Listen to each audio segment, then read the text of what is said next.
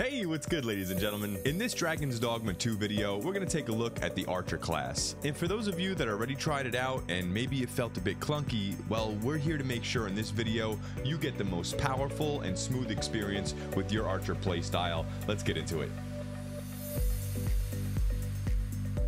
Now, if you picked up this class a bit early in your playthrough, whether you were missing some certain augments and abilities or just trying to learn about the game overall, this may contribute to why it felt a little underwhelming. But I can assure you, it gets better, boys. The Archer class has insane burst damage, it's great at burning down bosses, can apply status effects real quick. There's just so much control and flexibility this class brings to every fight. So real quick, let's just go ahead and cover the basics. The Archer's best base ability is going to be its steady shot. This is essentially just the game's manual aim mechanic, but this gives us a very unique advantage from other classes, since we can directly aim at enemy weak spots. Not only that, but this one base ability gives us the option to either fire quickly with lower DPS, or to hold it down for a stronger shot. Lastly, this will also allow us to activate all of our weapon skills without having to hold down L1. So this one base ability is what branches off into everything else, making your powerful and smooth archer playstyle. Now you're still able to use your auto track that your character has by default without always resorting to R1 steady shot. But if you choose to use this, I would look at it as more of a passive DPS output from your character. The only time I really found myself using this was when I'm either looking around the landscape, watching for other enemies, trying to reposition. It's just a perfect way to keep our DPS output up while our focus is really on something else. But for burn phases or any important moments in a fight, I would highly encourage you to start using that steady shot as your bread and butter. And do me a big favor, if you're enjoying this video, consider hitting that like button, subscribe, ring the notification bell for more of this coming your way. It helps me out very much. Thank you so much, guys. Now that we got the basics out of the way, let's talk about our dodge. So we have a few extremely smooth ways of getting out of danger. Now, if I were you, I'd go through them all and find what fits your style of play the best. Of course, you could use them all when you get out there on the landscape. I just personally tend to focus on one specifically at a time. Maybe my brain's just too small.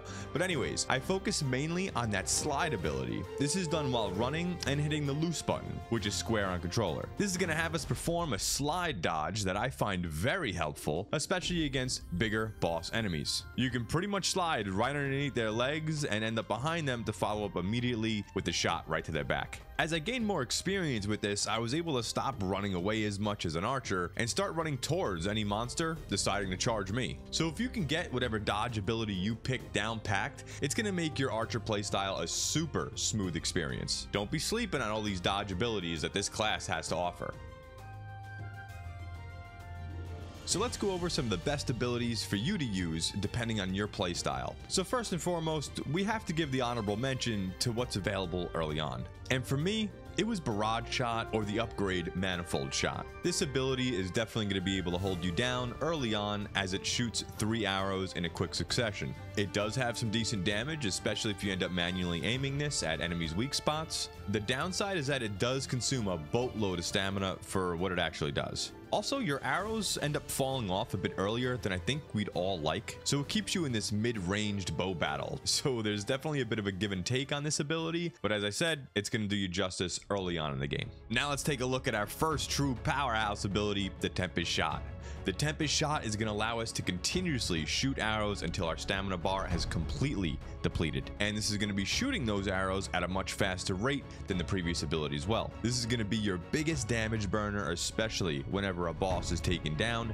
You can aim this right up at a weak spot and go to town. Now the downside of this ability is during the entire phase of shooting these arrows, movement is not an option. So if there's any AoE going out, any incoming enemies, this ability is going to need to be interrupted for you to reposition yourself. Another staple to the Archer class is Dire or Deathly Arrow. This is what you're going to charge up to send smaller enemies flying and to put any off-balance bosses right on their ass. Now this goes a bit further gameplay wise as there's a window of perfect timing. So it does take a bit to master, but it's going to give you a heavy increase in damage and knockdown potential. Another really great ability you need to consider and was my personal favorite was the spiral arrow. You will shoot one singular arrow, but when it connects, it's going to continuously do a swirl, damaging all enemies around that area over time. Do yourself a favor and don't overlook this one. Not only does it do a very respectable amount of damage, but it's also going to apply status effects extremely quickly. I find this ability also works in our favor in a few different scenarios. First off, obviously, if you aim this at an enemy's weak spot and stack like three or four of these suckers one after another, you're going to start doing some massive damage. And if you're enchanted with a status effect while doing this, well,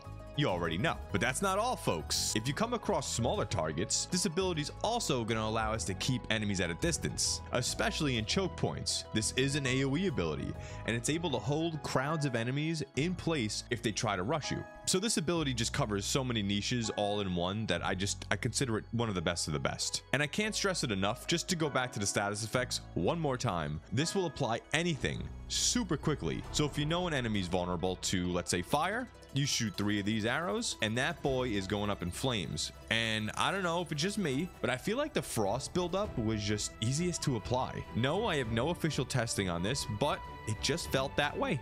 Now that we spoke about some of the damage over time abilities, let's talk about the burst damage with exploding shot, which uses the explosive arrows. Now, the downside to this is you do need to craft or buy these, but I think that's a well-deserved trade-off considering the amount of damage you're going to be able to deal with just this one shot. So just to be clear, you need to shoot the fire arrow, then shoot the same spot to detonate that fire arrow. You're not only going to get a fat burst of damage, but this gives us a high chance to stun that target as well. Of course, like always, aim this at the weak spot of an enemy, like the head for the biggest bang for your buck. And on top of all of that, it always has the chance of setting the target on fire. Now team, those are the main abilities I would swap around to have the most powerful archer playstyle. I wanted to mention the cascade shot. It's like a shotgun shooting three arrows at the same time, horizontally, but the damage wasn't great and I felt like the other abilities we covered here in this video just does an overall better job.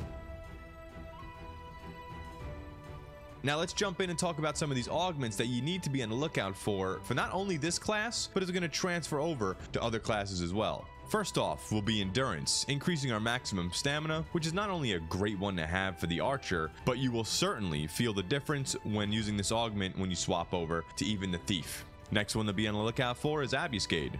Again, this is going to benefit the Thief class greatly. This gives us an increased damage to targets that are not in battle stance, meaning this will work on enemies that are not yet in combat. And if you have a Thief, or if anyone on your team, any of your pawns have smoke bombs, this will consider all enemies within that smoke bomb out of combat. So a very nice synergistic augment to go along with other pawns if you have that ability. Radiance is also very nice, causing your lantern to consume less oil. Isn't that nice? Lethality is also very good, increasing the damage dealt when striking a target's vitals. So any weak spot you can hit will be rewarded even further for you. So again, for the Thief, the Mystic Spearhand, the Archer, is all going to find huge benefit in just this one augment. And finally, Avidity is another nice passive to have in our pocket, allowing us to climb cliffs, scale enemies, and other surfaces much quicker. So these are some of the augments you gotta keep on your radar to not only increase the damage and fluidity of your class, but is gonna carry over and make your other classes, when you decide to use them, feel more lethal as well. But I wanna know what you guys think. Is there an amazing ability that I missed? What's your favorite ability and what do you use most often? Did this video help you at all? Let me know in the comments below. Hit that like button if you liked the video, subscribe and ring the notification bell for more, and I will see you in the next one. Toodles!